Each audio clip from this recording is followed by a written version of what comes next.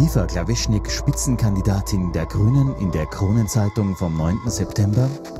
30 Prozent aller Unfälle passieren auf Freilandstraßen, aber 60 Prozent aller Verkehrstoten sind auf diesen Straßen zu beklagen.